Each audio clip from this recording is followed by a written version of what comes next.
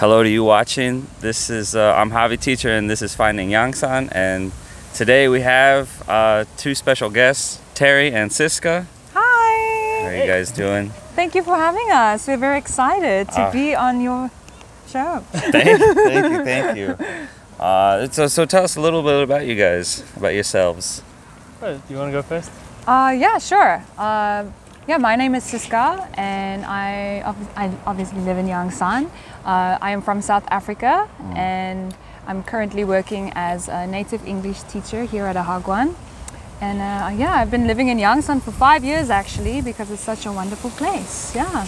Yeah, same. Like we came over together, both South African. We've been together for a very, very long time, and yeah, we've been living in Yangsan, chilling, teaching, and on our way out, basically. nice. How do you guys like it so? Or how did you, how did you guys like it? Since you guys are leaving Young, soon. yeah, Yangsan's a cool place. Like we, we had some really good times here, and definitely gonna miss it. Like Yangsan is a really cool place. Chill, close to everything, but just far away enough to relax. Yeah, yeah. No, we. Um, I remember because we we lived in Korea for a year before we came here again, and we lived in Daegu, and it was really, it was it was a nice place that time because we was much younger than now, obviously. But uh, um, then when we applied again, we really wanted to be in Busan, and then I, I saw this job posting, and I started like researching a bit online about Yangsan, and I just got like a really good feeling about it. And yeah, when we got here, I was just like, wow, um, I'm really glad we took this job. And yeah, it's beautiful. I mean, as you can see, the scenery, scenery is really nice. And like Terrie said, um, you you are close to Busan. You can go to shows. You can do all the kind of city things that you want to do. But it's so nice to just be able to come back to a place that's a bit more chill. you know? Mm. Yeah, I feel that. Damn, wow, that was well said. well, you, Terrie? Yeah, well, I fully agree with everything she said. Yeah, I didn't know you guys were in Daegu before this. Yeah, our Wow. first year in Daegu was a bit crazy. Like obviously it was our first time in the big city. Like Yeah. First year in Korea, so like we wanted to get out and party and see places and people. Okay. Yeah, uh, it's it was nice for one year, but I cannot imagine doing that again. Ever. Okay. and you guys went back to South Africa before coming back over here? yeah, yeah. We Oh, went wow. back to South Africa for like a year and a half, I think, around there. Yeah, Okay. about Decided, like, two years. I Yeah. see. Okay. Want to get out of town a bit, so we moved Yeah. to Yangsan. You guys were kind of veterans by the time you came out here then. yeah, A little bit? Well, kind of. no. Yeah. Like, we're, we're solid vets now. Like, Yeah, I mean, Yeah, we, we're definitely. senior citizens of Yangsan. Oh, yeah. Yeah. Yeah. We knew what to look for. We knew at least what we wanted, so that that helped a lot. Mm, yeah. okay. Especially starting out as a new teacher or ESL, you know, Yeah. like foreign teacher. So. Wow, okay. Hmm. What made you guys decide to come to South Korea? Well, originally, Dead? yeah, Yeah, that too. If we're gonna be honest, like uh, we had some study study loans and, and Mm. stuff to pay off, and we had some friends who came over just before us, and they were like, "Hey, it's a cool place. Come and check it out." And we were fresh out of uni, so we were like, "Why not?" Yeah, and we always wanted to like do a little something after we finished uni and, and um, I mean, like his dad actually, like his dad is a javelin coach and Wow. he had to, um, what he had to come to Korea. Yeah, they had like a training camp here before the Beijing Olympics. yeah. Yeah, so And he so- lived in Daegu for a bit, like a few weeks. Yeah, and I remember him like he he bought a book and he gave us the book and I kind of flipped through the book and I was like, wow, it's it's it looks like a really beautiful culture mm. and then I started looking a bit more into it because obviously I've always been like kind of interested in, in Asian culture and Asian things, but I didn't know that much. And uh, yeah, like I mean, Korea is a good option. Like it's a beautiful country. The people are very friendly, and like obviously you have your challenges and stuff living as an expat in Korea. But I, f- I feel it's like that in any Yeah. any situation. Yeah, so, definitely. mm. Let's flip this thing around. What made you come to Korea? Me? Oh man, that's gonna sound kind of stupid, but I came out here to change the world. Okay. Uh, I figured that there's, there, yeah, this country kind of takes education seriously. Mm. So I figured if they're willing to take it seriously, so will I, Okay. and just kind of uh, put my stamp on that. Just kind of, uh, I don't know, be as much of an influence on this next generation over here That's as I could. respectable, man. Yeah, very. Much more honorable than our reason for coming over. no, I mean uh, everyone's got their reason. You know, Yeah. I've met a lot of people from different walks of life out here. Some cool people, not too cool people, some weird people. But yeah, uh, yeah, I mean, you can't really. I kind of learned you can't really shit on a person for for the whatever reason they have for coming out here. Yeah. true. No, everyone Yeah. has different motivations. I get that. Yeah. Uh, He's cool. what are some things that you guys are really happy that you learned, or what are some things that you, you're, I don't know, learned or learned to overcome, or Well, I feel proud of? Yeah, I feel very fortunate to be able to teach children and Okay. to I've learned actually quite a lot I feel about like just people in Mm. general like working with children every day and, and seeing like the different ways they react to things or when you kind of get a bigger idea of like how important it is how you present yourself Mm. and like obviously we teach older children we teach elementary and, and uh, um, middle school students but i mean i feel you have such a big influence on them and at any age and it's very important to kind of try to obviously you don't know everything in the world but i think it is important to kind of try to i know we only teach them like english or whatever but you know some values share some values and how to just react in certain situations and i think you you actually play a bigger part in their life than you think you do Yeah, most definitely. That's how I feel, and I think you said it perfectly too. Uh, how you present yourself, you know, it's really that's really important. Like, Yeah, there's a time and place for everything. I mean, Yeah, like when you're at work or whatever, like you have to uh, take pride in your appearance and yourself and your behavior. And I mean, you do have a very big impact in the like in kids' lives. Like, it matters. So yeah I think a lot of people like maybe don't realize how important it is to yeah. not show up at work hungover or like Dude. not swear in front of the kids or you know. yeah, that's a big one. And, I mean, everyone goes through that. Our first year, like I, I showed up at work hungover once, and it was the shittiest day of my life. Like, I mean, you have to, you have to not only entertain kids, but you have to, like, keep everything under control. And if you are not in control of yourself, like, how can you expect that from anyone else? Like, if you don't respect yourself, how do you, how do you expect kids to respect you? Dude, Yeah. Yes, that's exactly it. You Man. got to take pride in yourself a bit. Ah. hey, fucking hey, Terrie. that's good, man. I think yeah, that's uh, that's actually really helpful. Uh, but do you guys have any like uh, like what's like your best teacher moment? Like you guys have like like a really like solid, happy, like proud moment where you're like, man, I was a really great teacher it, at that time, like right then and there. oh wow Uh, I don't have one specific memory or like I just I, I'm proud of like the relationship I built with most of my students. Like every day when I get to work, they all greet me like by name and Aw. like I, I know all the kids by name as well. And we have like over 300 students at our campus. So I know every one of them and like they're all like you see when you first start teaching kids, they're all shy and scared to talk to you because you're the strange foreigner and. I mean, now they come up to you for just a chat between classes, and Yeah. I mean, it's nice. It's just cool to see kids being comfortable with a person from a different culture, a different Yeah. country, and I mean, they want to chat, and they're actually sad because we're leaving. Like, Yeah. Yeah. I, I, I like that. Like, And I, I think, cool. yeah, like when we came here the first time, obviously you're, you're young and you're fresh out of college, so you don't really know what to expect, right? Mm. And then as the years gone has gone by, like you kind of realize I've learned my role as a foreign English teacher here is like the most important thing is to engage with the children and, and create a, a comfortable environment for them to express themselves because that's like where you learn like that's the spot where you learn. Like sure you have to maybe your syllabus is different and you have to follow a book or whatever but you really have to try to put in that extra little effort you know just to, to make kids feel comfortable because essentially you're here for them to become comfortable to interact in a second language and to speak in a second language. And yeah if you're going to be this rigid or person or not really care about what you're doing like they're not going to learn anything. So Yeah. i feel that's important. And like you said like we know every student by their names and they come up to us and we talk about it. And it's just cool to see like especially with the younger kids like the elementary kids um, so when you like start off the first few classes like you said they're super shy and then like say two months go by, three months go by, and you can really see the how they progress in mm-hmm. in their language skills. Yeah, they and pick up on your habits as well. Like when Yeah. I greet kids and they're like, "Hey, teacher," I'm like, "Hey, hey," always "Hi, hi."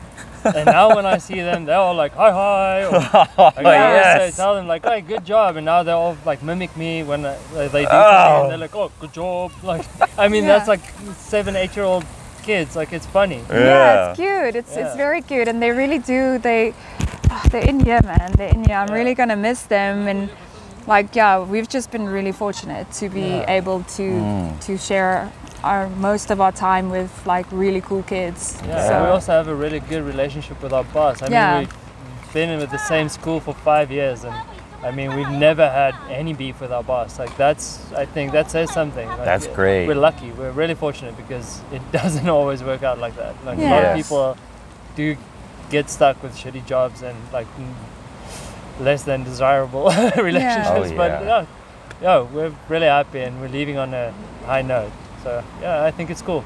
Man, that's great. And man, I when you said learning all the kids' names and engaging with them, I don't think most people know how important something that small Mm, is to a kid. Just knowing their names, like, yeah. dude, oh, and you learn what what, what, what triggers them or like Yeah. things they do like things they don't like you learn about their personalities and i think that really goes a long way like if you show actual interest the kids will respect you and it's not about like being scared of you because you're a teacher and like they, they, they, they listen to you because they want to yeah, Wow. think that's pretty cool that's important Yeah. to try to a get mutual that. respect Yeah. yeah. Man, ugh, that's that's actually like ah, perfect. I couldn't I couldn't said it I couldn't have said it any better myself. Good. oh, I'm glad that there's people here like this actually. Uh, how about any like bad experiences? You guys have any like something Ah, that not- you were just that really tested you or anything I that mean, happened yeah, to y'all of course. Like there while you were, here? There, has been some times where things kind of like got on your nerves, or like you got a little agitated or stuff, but nothing like super serious. Nothing major. We've been lucky in that sense, like Terrie said. But I must add, I think like you have obviously this certain idea when you come here, and you like sure people come here for different reasons, and but um, yeah, the, it is a different culture, and it is a very fast-paced culture. Especially if you're going to work at a hagwon, people should know like.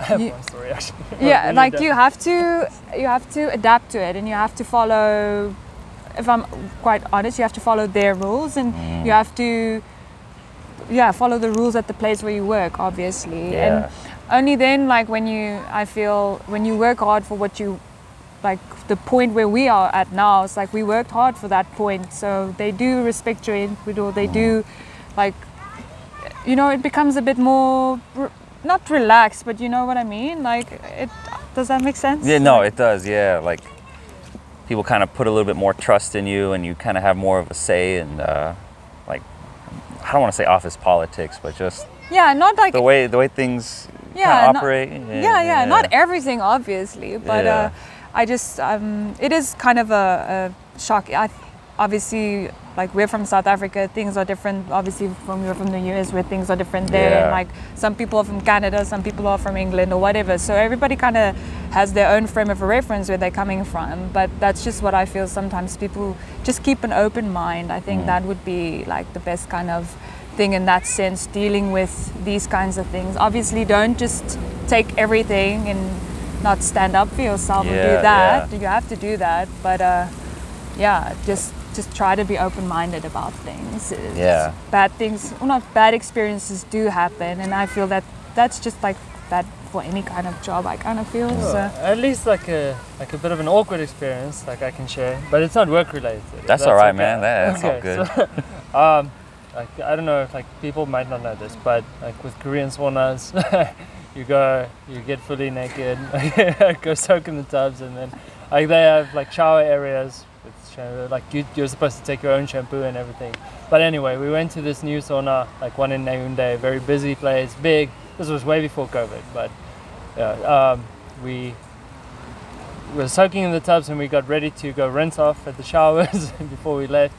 And it was me and my one buddy from Ireland, if I remember correctly, and our buddy Ali, like English Iranian descent. And um, there was this basket of shampoo, so they started like washing off, and I I was on my way to get some shampoo, and suddenly like this big bald Korean guy came up to us, started yelling at us.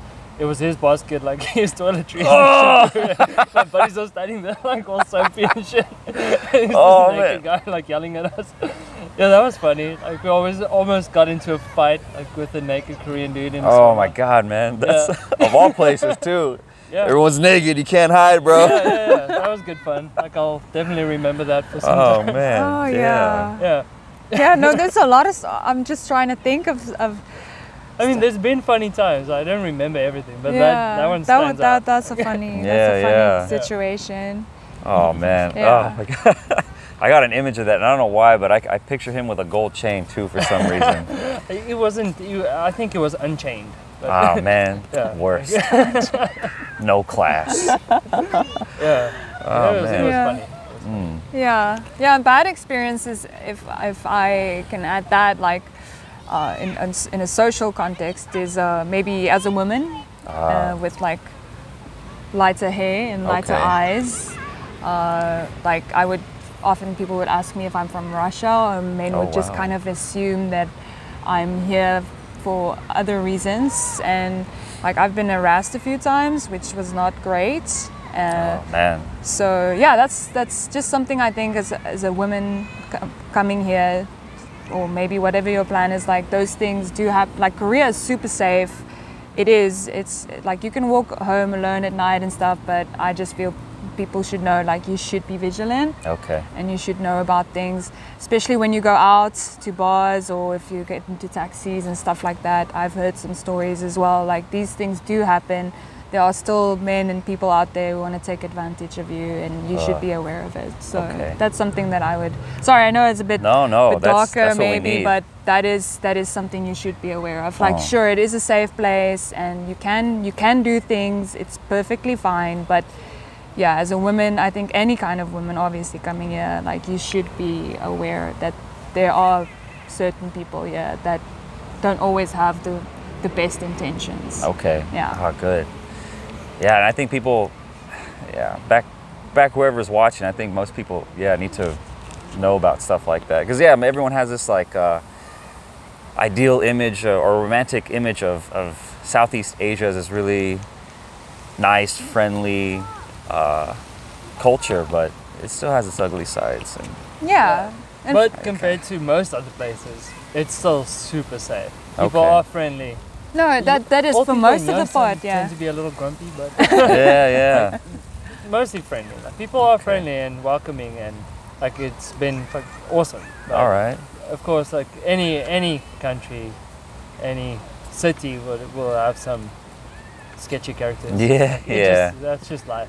Yeah. Is there anything, any like one thing that you feel you'll take away from Korea, like take back with you, like uh, I know memories, but maybe any habits or just a different like a mindset or Yeah, definitely. Yeah. Uh, when I first came, like I loved to go out and party. okay. that, was, that was a big Yeah, thing. Like yeah. I wanted to, and not just like I wanted to party hard, Mm. like go hard, and kind of outgrew that. Like I feel like I, I've dropped some some unhealthy habits and bad habits, and Okay. uh, at least exchange them for some good habits, or better habits at least. So Yeah. that, that's cool. I I feel much more relaxed, much more chill and at peace now. So Yeah. I think Ko- going back, like I, I, my mind's ready to like actually put in some work and not Mm. just like party the whole time. So looking forward to that.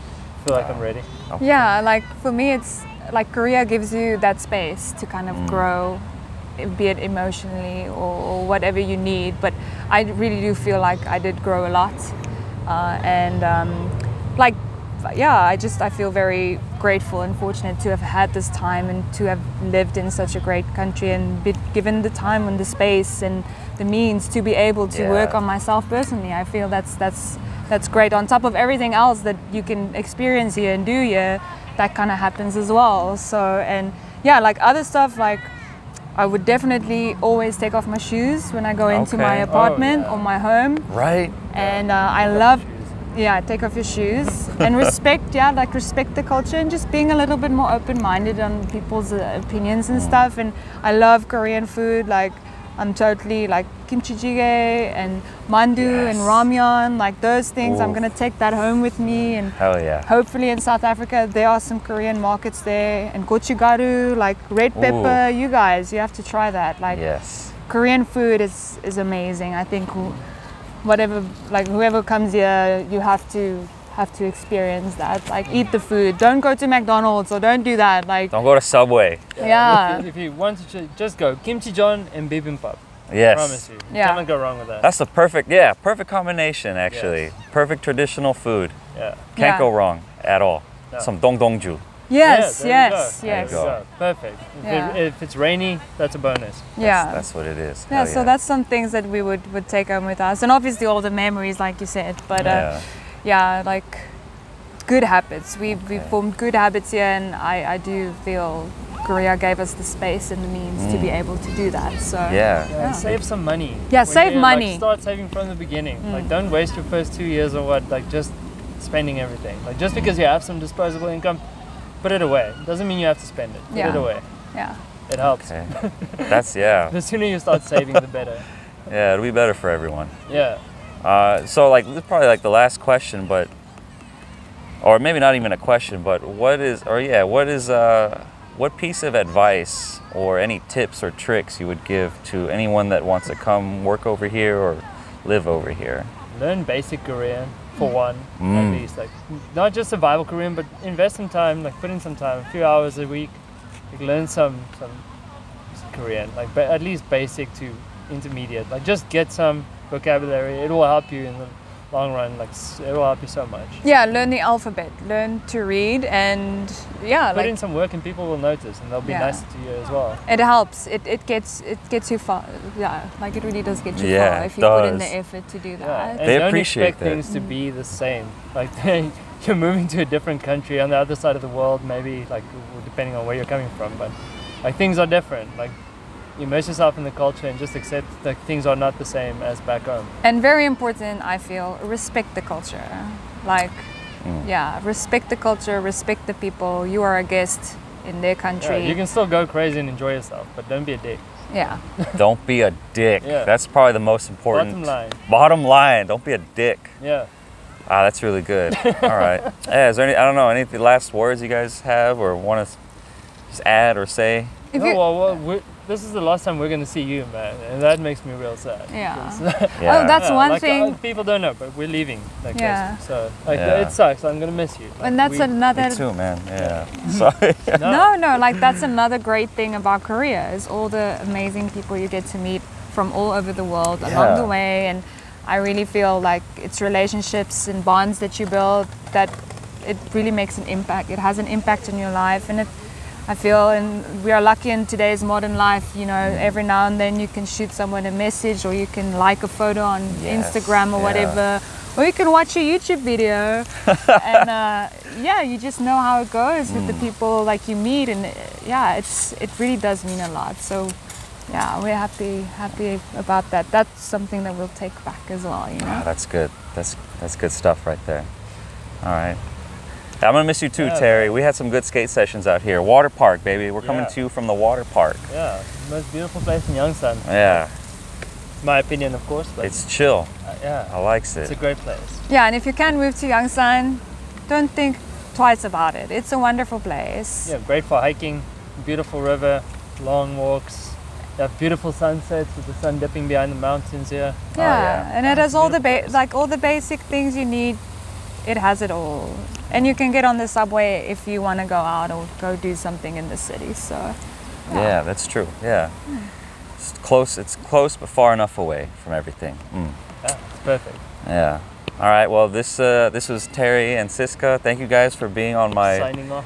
yeah on my on my channel. Thanks for Uh, having us. yeah, we feel honored. Thank Yeah. you. Yeah, first guest. Uh, but yeah, this is Finding Yangsan. I'm a hobby teacher.